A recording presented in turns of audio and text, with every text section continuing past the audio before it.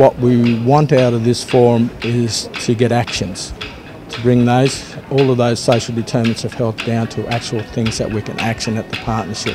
Health does suffer at the hands of a lot of social implications and environment. We have a very powerful partnership agreement, and together, if we do pool our resources in some sort of shape or form, perhaps we can improve Aboriginal health. When the local organisations control their um, future, that's when we start to make inroads. And the government, the partnership, the community organisations are doing that now in partnership but there is still a long way to go.